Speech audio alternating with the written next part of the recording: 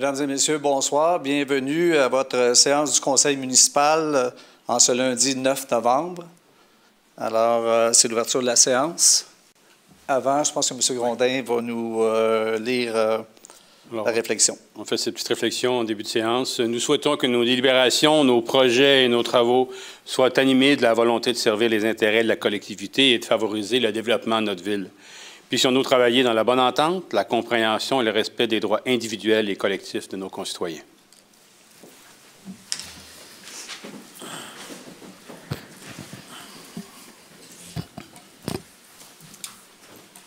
Alors, c'est l'adoption de l'ordre du jour qui en fait la proposition. Je le propose. Stéphanie Lacoste. Je l'appuie. Monsieur Grondin. Adoption des procès-verbaux Lecture et adoption du procès-verbal de la séance extraordinaire euh, tenue le 26 octobre. Je vais m'en faire le proposeur et demander la dispense de lecture.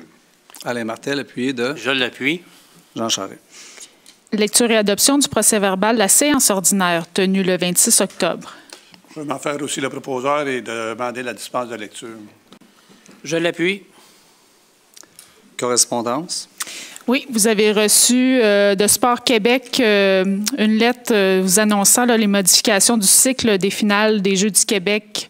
Donc, la 59e édition est reportée en 2025. Ensuite, vous avez reçu du cabinet du lieutenant-gouverneur le programme de distinction honorifique pour la médaille du lieutenant-gouverneur. C'est tout, Monsieur le maire. Nous sommes rendus à la direction générale. Le dépôt du procès-verbal du comité exécutif du 2 novembre. Euh, oui, j'aimerais en faire le dépôt, Monsieur le maire, puis euh, faire un bref résumé euh, de la réunion qui s'est tenue mardi dernier. Donc, comme à l'habitude, et puis j'aimerais m'excuser aux gens à la maison si mon éclairage n'est pas adéquat. J'ai eu un petit problème technique. Donc, je vais juste faire un bref résumé de la dernière rencontre. On a vu des dossiers, comme à l'habitude, au niveau des ressources humaines, des nominations, qu'on va voir ce soir en séance dans les résolutions. On a également vu un plan d'action pour poursuivre nos actions en matière d'équité salariale. Au niveau des affaires juridiques, on a vu un dossier notamment en lien avec la mise à jour de nos politiques dans les dossiers d'analyse de subvention des organismes. Donc, c'est vraiment pour avoir un peu plus d'efficacité au conseil municipal. Euh, on a eu des recommandations euh, très à propos. On a également reçu l'organisme Makina en lien avec une demande financière. Puis, euh, on va tout voir euh, les points qui découlent euh, du comité exécutif en résolution ce soir. Merci. Qui est-ce qui appuie? C'est juste un dépôt, monsieur. Ah, c'est juste un dépôt, excusez-moi. Oui, c'est vrai. Nomination de Mme Stéphanie Lacoste à titre de membre du chantier sur la participation citoyenne et les budgets participatifs. Je vais en faire la proposition. Dominique Martin. Je vais appuyer M. Martin euh, en expliquant que Mme Lacoste s'occupe encore du Conseil jeunesse, alors on trouve que ça avait un lien avec la participation citoyenne. Et D'accord. Dominique Martin aussi? Oui. Dépôt de la, euh, dépôt de la liste des dépenses autorisées de la liste des paiements? Je dépose la liste des dépenses qui ont été autorisées par les délégataires désignés en vertu du règlement de délégation de pouvoir, et ce, pour la période du 4 au 31 octobre 2020. Cette liste totalise un montant de 4 282 741 et 54 sous. Aussi, je dépose la liste des paiements effectués au cours de la période du 11 octobre 7 novembre 2020. D'accord. Délégation au trésorier pour l'adjudication d'une émission d'obligation de 34 600 000 à la suite des demandes de soumission publique. Je le propose. Je vais l'appuyer. Juste pour spécifier qu'on a 24,5 millions de refinancement, au fond. De nouveaux financements, on en a pour 9,5 millions, dont 2,5 qui étaient de 2019. Fixation des termes de remboursement des règlements parapluie RV 19 51 78, le 51, le 50 52 et le 47 58. J'aimerais l'appuyer, Monsieur le maire. Alors, Stéphanie, appuyée de Annick. Annick. Ajout au contrat DR20 GAG 003, fourniture et installation d'un système de vente et de perception pour le transport en commun. Euh, je propose d'octroyer le mandat additionnel afin d'effectuer le développement de la carte modulable et le site Web ainsi que le développement de la programmation des valideurs dans les taxibus à l'entreprise ITS Max Solutions Inc. d'un montant de 65 248 et 31 sous taxes incluses pour les logiciels, les logiciels et services de développement requis ainsi qu'un montant de 16 901 et 33 sous taxes incluses pour les frais mensuels reliés au maintien de ces logiciels pour une période de cinq ans. Je l'appuie. Dépôt d'une demande d'aide financière au ministre des Transports du Québec, programme SOFIL, l'année 2020. Je propose que la Ville de Drummondville dépose une demande d'aide financière au ministère des Transports du, euh, du, Québec dans le cadre du programme d'aide SOFIL pour le projet suivant, acquisition et installation d'équipements technologiques pour le transport en commun phase 2. Euh, c'est pour les cartes à puces modulables, programmation des valideurs dans les taxis, l'achat et installation d'équipements, le Wi-Fi aux, usagers dans les autobus. Euh, c'est un projet qui est estimé à 160 000 puis on a une subvention du de 85% donc qui va couvrir 85% des coûts. Je vais l'appuyer. Alain Martel. Service professionnel, plan d'adaptation au changement climatique. Nous avons reçu trois soumissions conformes. Je propose le plus bas soumissionnaire conforme, Stantec Expert Conseil, au montant de 88 606 et 40 sous, taxes incluses. Euh, c'est pour des outils permettant l'analyse des enjeux climatiques pour l'ensemble des activités de l'administration municipale, d'identifier et de prioriser les risques ainsi que de trouver des solutions écologiques et innovatrice. J'ai une subvention aussi du gouvernement d'environ 50 000 pour couvrir tous ces frais-là. Je l'appuie. Travaux électriques préparatoires. Excusez-moi, j'avais la main levée. Pour inscrire ma décidence là-dessus, je pense qu'on pourrait faire ça en régie. On n'a pas besoin d'aller en, sous-traitance. Euh, que ce soit, même si une subvention de 50 000, c'est prendre dans la poche, gauche du contribuable au lieu que ce soit la poche droite. Euh, ça reste au provincial, c'est l'argent de la population. Je pense qu'on peut très bien, on peut très bien faire ça sans aller euh, à l'extérieur. Je demande le vote là-dessus. Alors, euh, on, étant donné qu'il y a une personne qui est distante, on va demander le vote. Alors, quartier numéro 1. Je suis pour. Quartier numéro 2. Pour. Quartier numéro 3. Pour. 4. Contre. 5. Pour. 6. Pour. Quartier numéro 7. Pour. 8. Pour. Quartier numéro 9. Je suis pour. 10. Je suis pour. 11. Pour. 12. Pour. Donc, Madame la greffière, si je comprends bien, c'est 11 pour, 1 contre. Exactement. Travaux électriques préparatoires en vue de la construction de l'usine de filtration. Nous avons eu six soumissions conformes. Je propose le plus bas soumissionnaire conforme, Système Urbain Inc., au montant de 861 565 et 61 sous, taxes incluses. Euh, il s'agit, Monsieur le maire, du déplacement de la ligne d'alimentation électrique de l'usine existante, euh, qui est un préalable essentiel au début des travaux de construction de la nouvelle usine et pour assurer une opération sécuritaire de l'usine existante jusqu'à sa fermeture définitive. Je vais l'appuyer. J'aimerais l'appuyer. D'accord. Euh, Jean Charest, appuyé de Yves Grondin. Capital humain. Dépôt de la liste d'embauche des étudiants, euh, des employés étudiants et surnuméraires. C'est un dépôt. Je vais faire le dépôt. Nomination de M. François Galaise au poste permanent de manœuvre spécialisé à la signalisation au service des travaux publics pour le quart de jour. Je le propose. Je l'appuie. Catherine Daniel. Nomination de M. Jean-Simon Fréchette-Prince au poste permanent d'opérateur de machinerie lourde au service des travaux publics le quart de nuit. Je le propose. Je, je l'appuie. Embauche de Mme Noémie Thibault au poste syndiqué permanent de technicienne en prévention incendie au service de sécurité incendie et sécurité civile. J'aimerais le proposer. Annick Je Bellavance, l'appuie. appuyé de Jean Charest. Greffe et affaires juridiques. Mise à jour des politiques en lien avec le processus d'analyse et d'approbation des dossiers en matière de subventions pour les organismes. Je le propose. Je l'appuie. Dépôt d'un procès-verbal de correction relatif au règlement RV 20-5265 établissant un programme de subvention pour la rénovation de bâtiments résidentiels dans des secteurs répondant à des critères spécifiques, notamment la période de construction des bâtiments et le besoin de rénovation majeure de ceux-ci. Donc, c'était une, une erreur cléricale. Euh, Je le dépose euh, moi-même. euh. Ouais. Excusez. Nous sommes rendus à transport en commun, stationnement, développement social. Je pense qu'on n'a pas de sujet. Y en un qui Non, s'appelle non, il n'y a pas de sujet, Monsieur le maire. Sécurité incendie, sécurité civile non plus. Non plus. Loisirs, et vie communautaire. Oui, subvention aux associations sportives pour l'année 2020. Je le propose. Je l'appuie.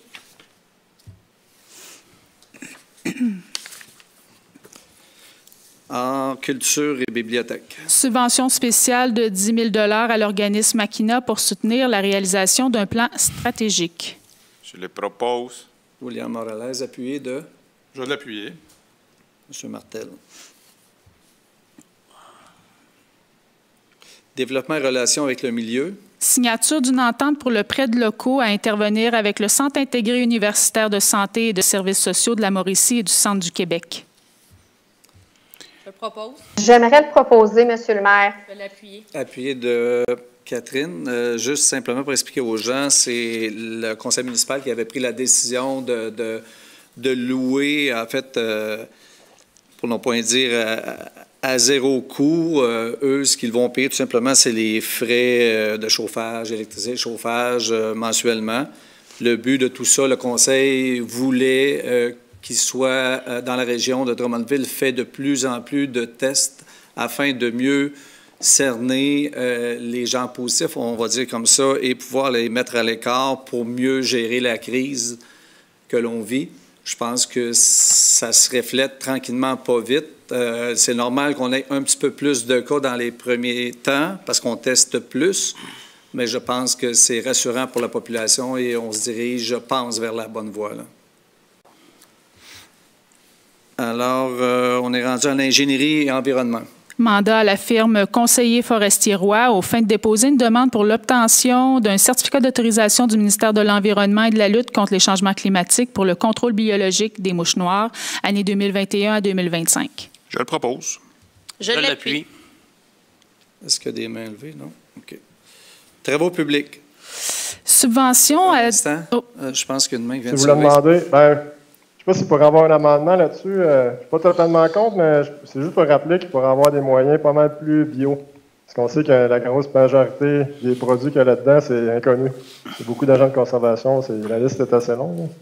Je pense que ce serait bien de songer à une alternative, euh, si je peux dire quelque chose là-dessus.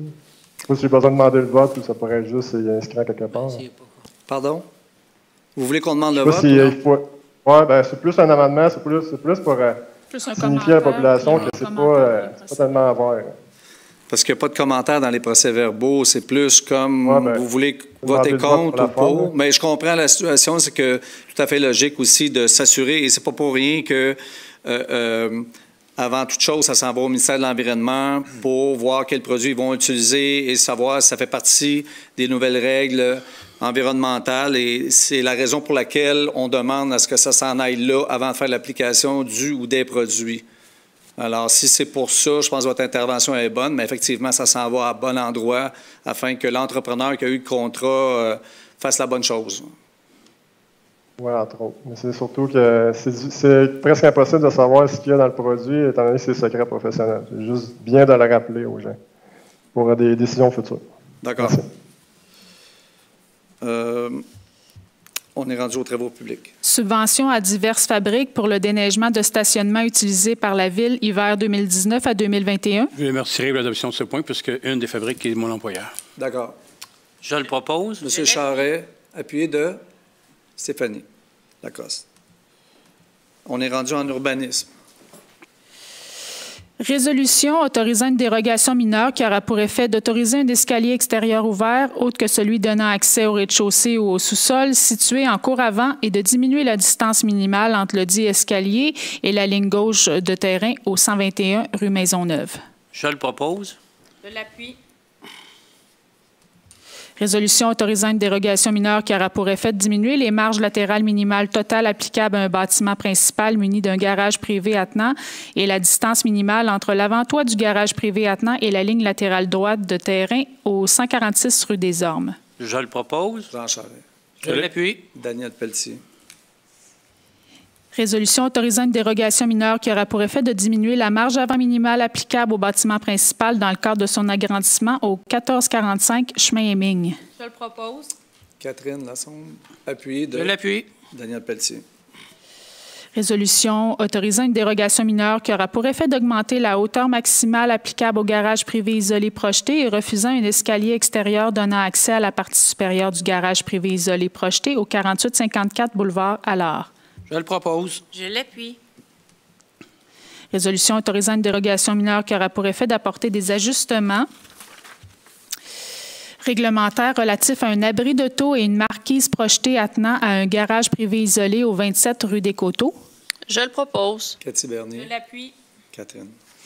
Résolution autorisant une dérogation mineure qui aura pour effet de réduire la hauteur minimale du bâtiment principal, augmenter la marge avant maximale applicable à un bâtiment principal projeté et augmenter la saillie maximale d'une terrasse au 1580 rue du Toiseur. Je le propose. Catherine. Je l'appuie. de Daniel Pelletier. Résolution autorisant une dérogation mineure qui aura pour effet d'augmenter la largeur maximale d'empiètement des cases de stationnement sur la façade principale du bâtiment au 165 rue Marsanne. Je le propose, c'est dans le quartier Le Vigneron. Je l'appuie. John Haas, Cathy Bernier. Résolution autorisant une dérogation mineure qui aura pour effet d'apporter des ajustements réglementaires dans le cadre d'un projet de construction d'un centre de distribution et refusant de réduire le pourcentage minimal de fenestration sur la façade principale au 2900 rue Thérèse Casgrain. Je le propose. Je l'appuie. Le dépôt du rapport trimestriel de- du service de l'urbanisme. Je vais en faire euh, le dépôt, euh, Madame la greffière. Donc, euh, parmi les plus récentes données, celles concernant la construction de logements, laissent entrevoir la vigueur de ce secteur, puisqu'en comparant le troisième trimestre de 2020 à celui de 2019, le nombre de logements est en augmentation de 67,1% De plus, soulignons que la valeur totale des permis à 70,7 millions démontre que la construction sur le territoire, un vecteur important de l'activité économique, reste soutenue puisqu'elle est de 26 supérieure à la moyenne de, la même période sur les trois dernières années. Les chiffres des demandes de permis auprès du service de l'urbanisme sont encourageants et ils démontrent la solidité et la bonne santé économique de notre ville. Ils sont aussi rassurants puisque nous avons besoin de ces nouveaux logements pour celles et ceux qui subissent les contre-coups de la pénurie de logements qui sévit toujours partout au Québec. Le secteur commercial, industriel et public a également contribué à la robustesse des chiffres du troisième trimestre 2020. En effet, la valeur des permis octroyés s'élève à 7,5 millions, une somme de plus de deux fois supérieure à la, même période en 2019. De ces investissements, notons que 36 projets de rénovation, de modification et d'agrandissement seront mis en branle. La confiance en l'avenir chez nos entrepreneurs reste intacte. Ils continuent leurs investissements à Drummondville, ce qui contribue à la pérennité du développement de notre ville. Mais comme la crise perdure, nous continuons d'être mobilisés pour que nos entreprises, nos commerces et nos professionnels soient soutenus. Je vous rappelle qu'avant d'effectuer tous travaux euh, et de changements à vos euh, bâtiments, de bien communiquer avec le service de l'urbanisme, nous disons permis, inspection et programme au 819-478-6571.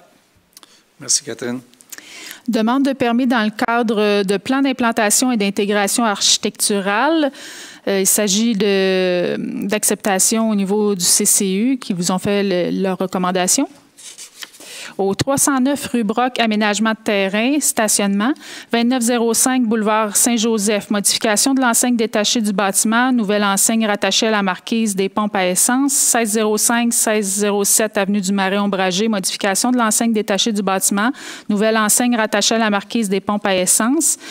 Le 2700 rue Saint-Pierre, modification de l'enseigne détachée du bâtiment, nouvelle enseigne rattachée à la marquise des pompes à essence. Le 2010 rue Saint-Pierre, modification de deux enseignes détachées du bâtiment. Nouvelle enseigne rattachée à la marquise des pompes à essence. Le 44-40-16 boulevard Saint-Joseph, euh, la même chose. Et le 15-20 boulevard Saint-Charles, nouvelle enseigne détachée du bâtiment. Je le propose. Je l'appuie. Daniel Pelletier. Au niveau des règlements, Au niveau des avis de motion du règlement RV 2052-96 modifiant le règlement 4300 relatif au zonage et visant l'ensemble du territoire de la ville de Drummondville, il s'agit d'un règlement qui a pour objet d'interdire le remplacement, la modification ou l'entretien d'un élément architectural de construction fermé en élément architectural de construction ouvert, galerie, balcon, escalier ou perron, lorsqu'il est en situation de droits acquis quant à son éloignement par rapport aux lignes de terrain. Qui donne donner l'avis de motion? Alain Martel. Adoption de projet de règlement. Adoption du projet de règlement RV 20-5296, l'ensemble du territoire de la ville de Drummondville. Je le propose. Je l'appuie. Jean Charest. Adoption de second projet de règlement. Adoption du second projet de règlement RV 20-5269-1 modifiant le règlement 4300 relatif au zonage ayant pour objet d'autoriser la construction d'habitations multifamiliales de six logements sur trois terrains situés sur le côté sud-ouest du boulevard Saint-Joseph entre les rues P9 et P10. Je le propose. Stéphanie l'appuie. Lacoste, Daniel Pelletier. Adoption du second projet de résolution relatif au PPC-MOI visant à autoriser l'entreposage de pneus et de pièces automobiles dans le cadre d'un projet d'agrandissement d'un bâtiment commercial existant au 315 rue Saint-Henri. Je le propose. Je l'appuie. Adoption de règlement.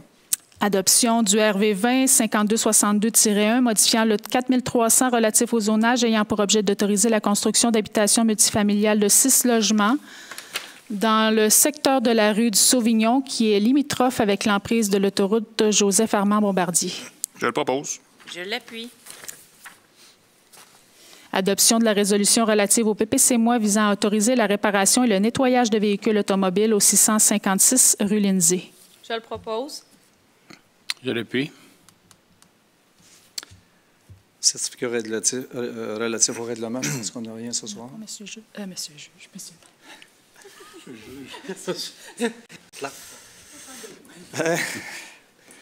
Information des membres du Conseil. Alors, je, commencerai par euh, offrir nos condoléances. euh, je voudrais également témoigner notre solidarité des Drummondvilloises et Drummondvillois à tous les citoyens de Québec qui ont, qui ont été secoués par les odieux assassinats qui ont été euh, perpétrés le soir de l'Halloween.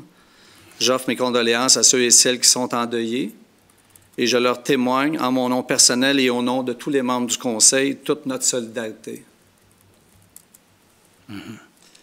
J'aimerais aussi euh, vous porter à votre attention, comme vous avez remarqué, la plupart des gens, pour ne pas dire tout le monde ce soir, porte euh, son coquelicot dans le cadre euh, du Jour du souvenir qui aura lieu ce mercredi, le 11 novembre.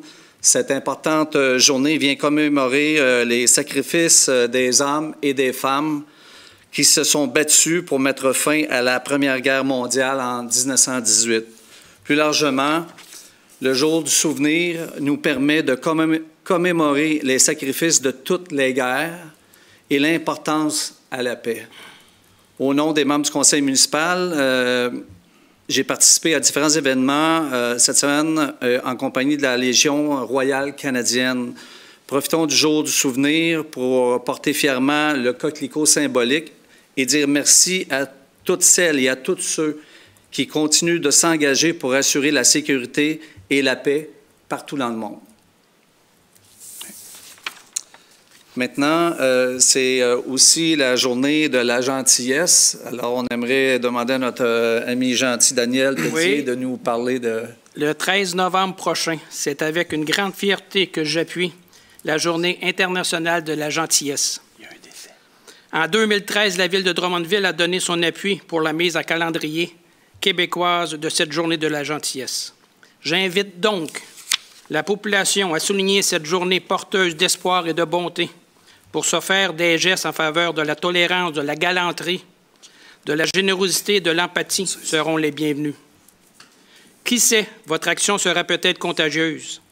En ces temps de pandémie, la population en général, notamment nos aînés, ont vécu et vivent encore des moments difficiles de solitude. Je vous invite donc individuellement et collectivement à participer à cette mobilisation intergénérationnelle en posant des gestes de respect, de civisme, d'entraide et d'emp- d'empathie entre jeunes, adultes, aînés et à profiter de cette journée pour reproduire ces gestes tout au long de l'année, pas seulement le 13. Merci. J'aimerais passer la parole aussi à M. John Huss concernant un prix distinction pour le plan de mobilité durable. Oui, merci, M. Carrier. Donc, euh, effectivement, la Ville a reçu une bonne nouvelle la semaine passée, c'est-à-dire qu'elle a reçu le prix euh, distinction de l'Association québécoise des transports pour euh, le plan de mobilité durable. L'association décrit le prix comme étant celui choisi par, parmi les candidatures reçues de partout au Québec à son gala annuel. Il est remis à un projet d'envergure se distinguant fortement par son apport structurant en matière de transport pour la société québécoise. On se rappellera notamment que le plan a fait l'objet d'une large consultation euh, dans la collectivité, mais aussi dans l'organisation municipale. Euh, je, crois, je crois que sa force principale et ce qui en fera, selon moi, une réussite au fil du temps, c'est le fait que nous l'avons développé et qu'on le met en œuvre ensemble. Donc, euh, on peut voir ça d'une manière que le prix est remis à la ville, mais c'est aussi une reconnaissance de ce qu'on est capable d'accomplir quand on travaille ensemble dans un but commun. Donc, euh, merci beaucoup à l'Association québécoise des transports pour cette reconnaissance envers la Ville. Et euh, merci également à nouveau de votre soutien et votre implication continue dans ce projet collectif aux citoyennes et aux citoyens, à M. Carrier, à tout le Conseil, à M. Adam et l'équipe de la fonction publique et aux multiples organisations partenaires de la Ville et ses différents mandataires. Merci beaucoup. J'aimerais offrir mes condoléances au nom du conseil municipal à M. Sylvain Levasseur, manœuvre au service des loisirs et de la vie communautaire à la ville de Drummondville, et à toute sa famille à l'occasion du décès de leur mère, Mme Yvette Lemire.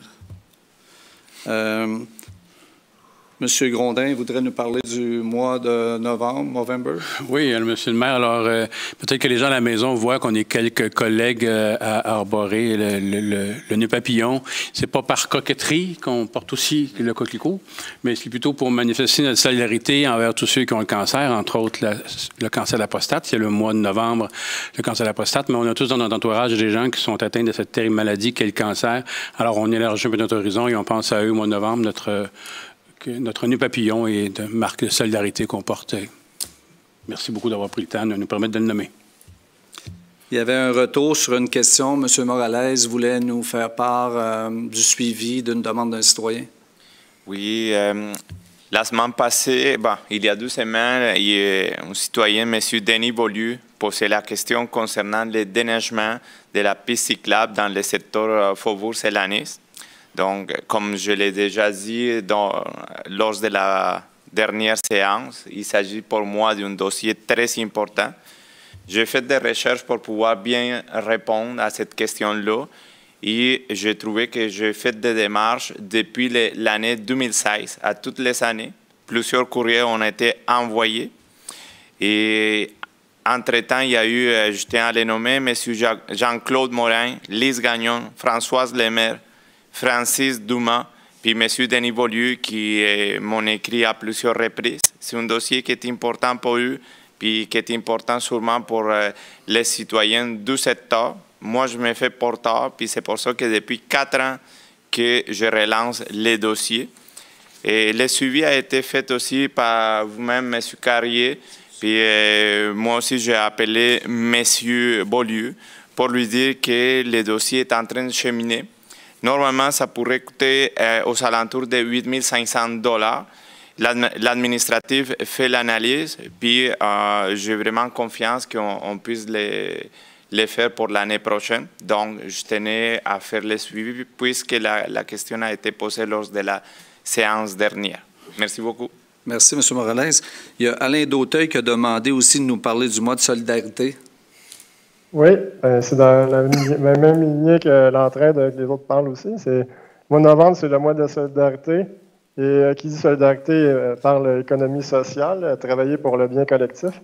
L'entreprise économie sociale exerce des activités économiques à des fins sociales, c'est-à-dire qu'elle vend ou échange des biens et services, non pas dans le but de faire simplement du profit, mais plutôt dans celui de répondre aux besoins de ses membres ou de la communauté qui l'accueille. Moi, je pense que, à mon avis, pour euh, dans les temps qui nous euh, préoccupent, la crise, c'est ce qui, dans, où est-ce que les objectifs, où est-ce qu'on devrait aller, c'est assez clair, à mon avis.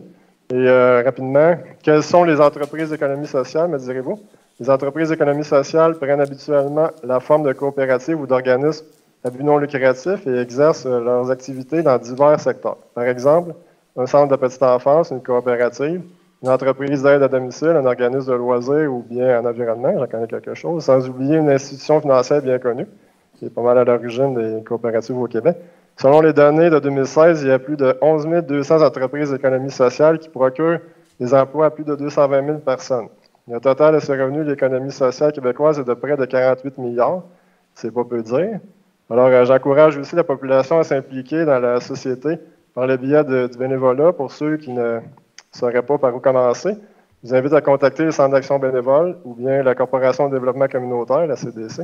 Ils sauront vous aider et croyez-moi, il y en a pour tous les goûts. Euh, en terminant, je tiens à remercier chaleureusement tous les bénévoles qui, chaque jour, rendent notre société plus belle. Merci beaucoup bon euh, mois de salle d'acting. Merci Alain Dauteuil. Euh, je pense qu'on est rendu à la période de questions, Mme Lagraffière. S'il n'y a pas d'autres sujets, non? Ça va, tout le monde? Période de questions. Alors, euh, notre chef de communication, M. Villeneuve, va nous lancer les questions à tour de rôle. Alors, allez-y. Oui, bonsoir, Monsieur le maire. Une première question qui vous vient de Monsieur Gérard Fréchette. Elle se lit comme suit. Question d'éclaircissement comme acheteur de billets pour des spectacles sportifs, culturels et de cinéma. Compte tenu qu'il y a des salles de spectacle sous-utilisées sur les rues Saint-Marcel, Lindsay et à l'amphithéâtre près du village québécois d'antan, compte tenu d'un possible agrandissement intérieur de 1000 places au centre Marcel-Dionne, compte tenu d'un possible projet de train à grande fréquence, et compte tenu de l'exemple de la salle Thompson avec stationnement intérieur au centre du centre-ville de Trois-Rivières, comment se fait-il qu'il n'y ait pas une étude de marché pour établir une autre salle de spectacle à sept coins de rue de la Maison des Arts des Jardins et pour avoir un stationnement étagé plus central, pouvant desservir autant, le bas que le haut de la ville, près de la gare actuelle, car Gatineau en aura un de 850 places près d'un complexe de quatre glaces. OK. Euh, premièrement, euh, euh, on parle surtout, on parle de plusieurs choses, mais on parle de, stationnement et d'endroits, euh, plus d'endroits que d'autres choses. la salle de spectacle, euh, on parle d'une place cabaret, genre environ 300 places. Euh, pour avoir parlé en arrivant avec Madame Marie-Pierre Simoneau dont on a eu le plaisir de, discuter, d'échanger. Ce qu'on nous dit, c'est qu'il n'est euh, pas rare que, on, parle hors de période pandémie, il n'est pas rare que euh, on refuse euh, des offres n'ayant plus de salles disponibles. on nous a parlé jusqu'à près de 90 fois. Ça, c'est ceux qui en font la demande. Ceux qui vont directement sur le site, ils voient que les spectacles sont remplis, donc ils ne posent même pas la question. Euh, c'est un dossier qui a été commencé avant mon arrivée. C'est un dossier que les membres du Conseil ont à cœur. Naturellement, il y a une étude qui a été faite. On a demandé, le Conseil a demandé de nouvelles choses. Le dossier avance. Il y a une subvention disponible. On devra faire notre lit euh, d'ici février, si je ne me trompe pas. Euh, donc, on regarde. Pour ce qui est c'est à peu près tout ce que je peux dire. C'est à l'étude, effectivement, comme vous dites, M. Fréchette, on étudie présentement et ça fait partie des démarches qu'on fait. Là. Une question, euh, M. le maire, qui vous vient cette fois de Mme Henriette Hiergeau. Bonsoir. J'ai deux questions pour euh, M. le maire Carrier. Premièrement, Dès votre entrée en fonction, vous avez déclaré que vous vous battriez bec et ongle pour faire échec à Waste Management, qui a intenté un procès à notre ville pour l'obliger à changer son zonage et permettre la poursuite des ordures étrangères en milieu urbain pour dix années et plus, mettant ainsi en danger notre eau potable, notre air et notre sol. Après votre déclaration bec et ongle, qu'avez-vous fait? Quel geste avez-vous posé? Bien, écoutez, comme certaines personnes, je ne dirais pas plusieurs personnes, mais certaines personnes, j'ai regardé, aussitôt que j'en ai eu l'occasion, le procès. Euh, j'ai la chance d'avoir parmi moi euh, euh, mon chef de cabinet qui est très au courant du dossier. naturellement, vous n'êtes pas sans savoir qu'aujourd'hui aussi, il y avait une audition sur une chose bien spécifique que le juge a voulu réentendre ou entendre, entendre à nouveau, de nouveau. Euh, les rencontres, bien, écoutez, j'en ai fait des rencontres. J'ai posé plein de questions, euh, j'ai reçu plein de monde. Je ne peux pas dire qui. Ici, les gens autour de la table le savent. Euh, en fait, vous savez qu'il y a différents plans. Moi, j'ai toujours dit, je vais aller au-devant des coups avant que le coup arrive. Il y, a différents scénarios qui peuvent arriver. Euh, c'est pour moi qu'il faut décider. Alors, euh, oui, pour répondre à votre question, pas juste moi, le Conseil défend bec et ongle, et ça a toujours été, ça restera toujours. On attend le jugement, et après le jugement, on verra. Bon, comme je vous dis, on a des scénarios. Ces scénarios-là, lorsqu'ils arriveront le temps, le Conseil va prendre la meilleure des décisions possibles et en temps et lieu. Donc, la deuxième question de Mme Henriette Hiergeau. Où la terre polluée et contaminée du site de la Fortissimo, qui est actuellement en décontamination, euh, est-elle ou sera-t-elle dirigée? Bien, encore une fois, c'est quelque chose qui était là avant mon arrivée. Euh, moi, de ce que je sais, c'est que présentement, le contrat est octroyé à une firme. Euh, cette firme-là avait le devoir de sortir du site les, terres contaminées. Euh, il y avait différents scénarios dans le contrat. Il y en a qui allaient à Waste, il y en a d'autres qui allaient à Bécancourt, d'autres à, Saint-Rosaire, je ne me trompe pas. ça, c'était dans le contrat. Parce que différents matériaux qui vont à différents endroits, c'était bien. Ce qui est le plus important, c'est, on va appeler ça la tractation ou l'espèce de GPS, entre parenthèses, que le Conseil s'est assuré, puis avec raison, de savoir le fameux camion qui repart du site qui est contaminé, il s'en va où? Il y a un système de traction qui est fait pour s'assurer que si cette terre-là, qui est précise dans, euh, euh, qui va dans tel site d'enfouissement, ben, on s'assure que le camion s'en va bel et bien. Là, il y a un suivi qui est fait. Autrement dit, c'est pas excusez l'expression, dompé un peu partout dans la ville ou dans, diverses villes. Donc, euh, à, la base, le contrat, selon moi, les membres du Conseil en place ici, avant moi, ont pris une bonne décision, puis c'était bien fait. Les dernières questions vous viennent du citoyen Daniel Fortin. Euh, ça se lit comme suit. Bonsoir, Monsieur le maire. J'ai lu dans le journal L'Express du 4 novembre dernier que vous mentionnez votre intérêt à dynamiser le centre-ville. Vous dites, mon objectif est de faire du centre-ville un pôle d'attraction structurant pour attirer les gens de l'extérieur à venir dépenser chez nous. Vous faites aussi mention du centre-ville de la ville de Trois-Rivières. L'objectif est très louable et j'aimerais aussi pouvoir me promener dans un centre-ville plus dynamique. Votre solution proposée est d'ajouter un stationnement à étage. J'ai plusieurs questionnements à ce sujet, donc voici les trois premières. Quand je regarde la photo du même article de journal, je trouve qu'il y a énormément de zones qui semblent être des zones de stationnement non utilisées. J'aimerais donc savoir le nombre de places de stationnement qui existent déjà au centre-ville jusqu'à 15 minutes à pied, incluant donc le stationnement du centre Marcel Dionne et celui de la Maison des Arts.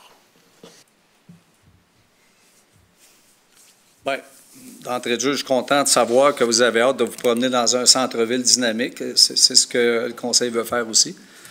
Euh, je n'ai pas le nombre de places euh, au Centre des Arts. J'ai des approximations. Euh, le Marcel Dion, on parle de 380 places. L'Hôtel de Ville, 125. La bibliothèque, peut-être 120.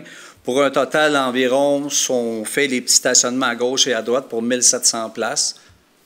C'est la réponse que je pourrais vous donner, là, à coût de 20 et 30 places à différents endroits aussi. Là. Après les heures de bureau, nécessairement. La deuxième question de M. Fortin. Pour ma part, quand je pense à des centres-villes agréables comme ceux de Trois-Rivières, Rivière-du-Loup ou Rimouski, ils ont des trottoirs suffisamment larges pour qu'au moins trois personnes puissent s'y promener. Il y a beaucoup de luminosité. On peut manger sur les terrasses sans être pollué par le bruit et l'odeur d'essence. Et les stationnements sont souvent à l'extérieur du périmètre des rues commerciales. Est-ce qu'il y a de la littérature disponible au service de l'urbanisme sur les caractéristiques des centres-villes dynamiques et est-ce que cette littérature est publique? Bien, je dirais que je pense qu'ici, à l'urbanisme, puis dans nos différents. Euh, euh, comment j'appellerais bien ça? Nos différents gens ici qui travaillent sur le sujet, je pense qu'on a de la littérature. Est-ce qu'elle est, complète? On n'en est pas rendu là encore. Est-ce qu'on détient la vérité présentement? Je pense pas. Est-ce qu'il faut commencer par quelque chose pour faire quelque chose? Je pense que oui. Euh, bientôt, on se penchera, le Conseil, sur la possibilité, les coûts, euh, parce qu'il ne faut pas juste parler d'un stationnement. Là, c'est parce qu'il y a des gens qui parlent juste du stationnement, mais ça prend un stationnement pour, pour démarrer le projet. Ça a toujours été au centre-ville avoir un stationnement près des activités à cause de tout ce qu'on sait. Quand il fait moins 25, quand il pleut, quand il y a toutes sortes de choses. Euh, oui, on peut faire une activité sur la rue Herriot et aller se stationner au Centre des Arts. Oui, on peut même aller stationner à Saint-Germain si on veut aussi pour les athlètes. Mais moi, je pense que dans la vraie vie, ceux qui ont quelque chose qui marche dans leur centre-ville, bien, à proximité, ils ont un stationnement. Je regarde Trois-Rivières, je regarde Sherbrooke qui est en train de faire quelque chose de bien. Alors, moi, je pense que on va regarder ce qui se fait. C'est déjà commencé. Et il y a un comité qui est, formé, qui va avoir des gens aussi d'affaires, euh, des gens du coin, euh, des professionnels, puis ils vont venir nous dire quelle est la meilleure des solutions. Mais vous comprendrez que si on veut quelque chose, il faut partir avec quelque chose. La dernière intervention, toujours de M. Daniel Fortin. Je sais que les études ne sont pas encore faites pour un stationnement à étage, mais vous devez certainement avoir une petite idée du coût d'un stationnement à étage en étant issu du milieu de la construction. J'aimerais donc connaître à combien vous estimez le coût de votre projet de stationnement à étage ainsi que le nombre de places de stationnement qui seraient générées. Bien, le coût du stationnement, ça dépend. Est-ce qu'il y a du rock? Ça dépend. Est-ce que tu démolis avant de construire? Ça dépend. Le terrain est-il à toi ou pas? Ça dépend. Mais euh, je regarde à Sherbrooke, je crois que j'ai lu, si je ne me trompe pas, quelque chose comme 30 000 la case de stationnement. Euh, ils ont défait un édifice ou des édifices pour venir à bout de faire leur projet. Euh, quel est le projet versus, quelle sera la différence de leur projet versus le nôtre? Je pense que ça va être un peu différent.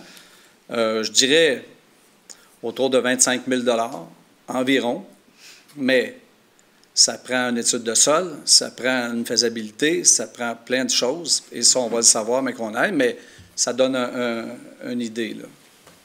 Donc, si on parle de 25 000 euh, 800 cases, on parle de 20 millions. Ça complétait pour les questions, euh, Monsieur le maire. John Husk. Oui, là-dessus, je, vais juste mentionner que Bon, il y a beaucoup de questions du centre-ville, puis c'est bien qu'il y ait euh, un intérêt, euh, une attention particulière portée au centre-ville. moi, pour ma part, je pense que c'est probablement l'avis d'autres de, d'autres personnes au conseil. Moi, je pense que le, je pense qu'on a un beau centre-ville. Je pense qu'on a un centre-ville dynamique. Je pense qu'on a travaillé passablement tout le monde ensemble à l'améliorer au fil du temps. Euh, c'est pas parfait, on peut continuer de l'améliorer, mais moi je veux juste émettre l'opinion que euh, l'opinion pardon que euh, je, trouve qu'on a un bon centre-ville euh, dynamique et il faut, faut, faut, faire pour répondre en tout cas pour ma part personnellement en partie à la question de, M. Fortin, je pense que la dynamisation encore plus euh, du centre-ville va dépendre de euh, l'augmentation de la densité euh, d'occupation au centre-ville. Il faut, il faut amener plus de gens avec plus de, plus de logements, plus d'emplois qui sont là à longueur d'année. Pour ça, il faut, faut, faire de la place, il faut optimiser euh, l'espace. Euh, moi, moi je, continue de croire que, par ailleurs, parenthèse, dans le plan de mobilité durable, il y a près de 25 de la superficie du centre-ville que c'est du stationnement. Je pense qu'il y a un exercice d'optimisation à faire.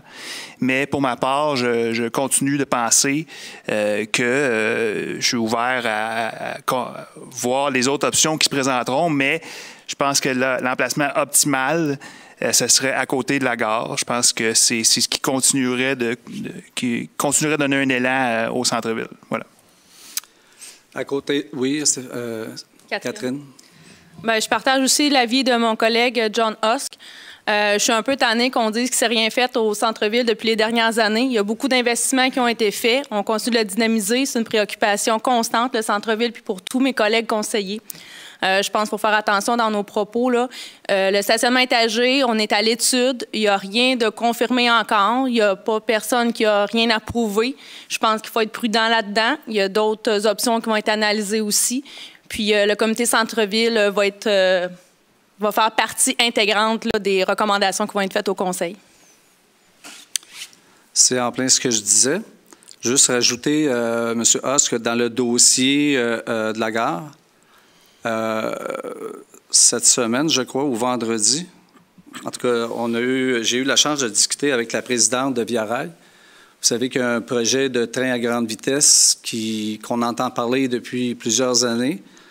Vous savez que si ça n'avait pas été de la COVID, on aurait entendu parler un peu plus précisément de ce qui se passerait. Vous savez que Drummondville travaille fort pour que ce soit un, pôle d'attraction, c'est-à-dire qu'il y aurait euh, quelque chose qui se passerait, donc cet espace-là. Et là, je ne pense pas, après avoir discuté avec la madame, euh, que ça va se faire dans les deux, trois prochaines années ce qu'on nous dit, euh, il va y avoir quelque chose dans la mesure du possible à Drummondville, oui. C'est sur les plans. Ils regardent pour relier le, nord au sud. Mais il ne faudrait pas non plus,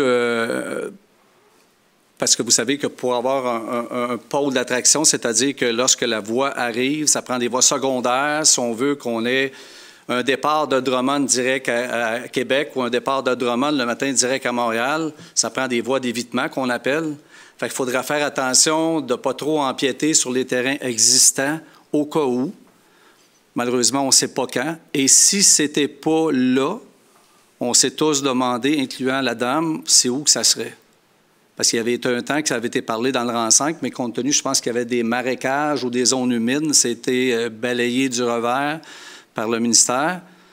Et après ça, bien là, ce qu'il faudrait faire, c'est il faudrait refaire des voies, euh, c'est-à-dire euh, probablement déboiser, trouver des endroits assez suffisamment larges et longs pour être capable d'avoir cet espace-là pour faire la transition. Donc, c'est pas simple. Encore une fois, moi, ce que je demande, puis je, puis j'ai pas, j'ai pas à, discuter euh, de, chacun ou de chacune qui ont leur opinion. Moi, je donne la mienne. Pour ceux qui pensent qu'il se passe bien de quoi au centre-ville, je sais pas, ça vient d'où, là, mais en tout cas, moi, ce que j'entends dire, euh, je sais pas, c'est où l'activité, là, mais moi, je pense qu'à Trois-Rivières, on peut appeler ça une ville euh, où ce qui se passe de quoi, là. Sherbrooke, il va se passer de quoi aussi. À Magog, il se passe de quoi moi, ce que je voudrais un jour, c'est qu'à Drummondville, au lieu qu'on aille toujours à l'extérieur pour faire quelque chose, qu'on reste chez nous, que les gens viennent chez nous, qu'ils découvrent Drummondville avec qu'est-ce qu'on va mettre autour de ça. Parce que là, on parle d'un projet de stationnement. Il y a bien plus qu'un projet de stationnement. Là. Puis, je vous en ai parlé, M. Huss, que vous savez, hein, que ça va partir, ça va, il va y avoir des pistes piétonnières, par le chemin Ming. De l'autre côté, en allant vers euh, Saint-Joachim, c'est un projet global. C'est pas juste je mets un stationnement là, puis on verra dans 10 ans s'il est à la bonne place. C'est pour ça que ni moi, ni personne encore savons qu'est-ce qui est le mieux. Mais je ne suis pas fermé à l'idée que si demain matin, quelqu'un me, disait non, c'est pas là, il faut que soit, il faut que soit à tel endroit. Moi, ce que je dis, c'est que ça prend quelque chose, puis à date, lorsqu'on ne fait pas de politique, puis je regarde à des gens, je pense qu'ils sont très bien connus du milieu, puis qui nous disent euh, depuis depuis que vous avez annoncé ça. En tout cas, il y a, quelque, chose, il y a quelque chose à la planche à dessin. Tout ce que ça mérite après, c'est d'être fignolé, la façon de faire, puis d'améliorer le pourtour de ça. Mais je suis bien d'accord que chacun peut avoir son idée, il n'y a pas de problème. Pas d'autres questions? C'est tout. Alors, qui propose d'aller de l'Assemblée? Je le propose. Stéphanie Lacoste, appuyé de? Je l'appuie. Euh, Jean Charest. Merci, messieurs et madame. Bonne soirée.